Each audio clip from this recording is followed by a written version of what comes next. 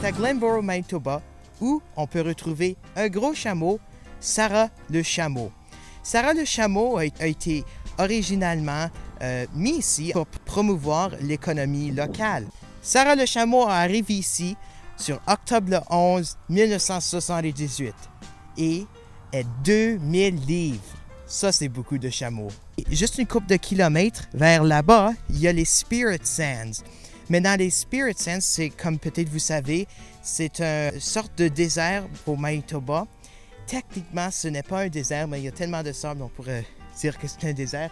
Alors, c'est vraiment pour promouvoir l'économie rurale. Et puis, euh, je pensais que peut-être vous ne savez pas qu'il y a un chameau ici. Alors, c'est juste une chose. C'est pas mal court, c'est pas mal grand. Si vous êtes au euh, sud-ouest du Manitoba, venez à Glenboro puis prenez une photo avec Sarah le chameau.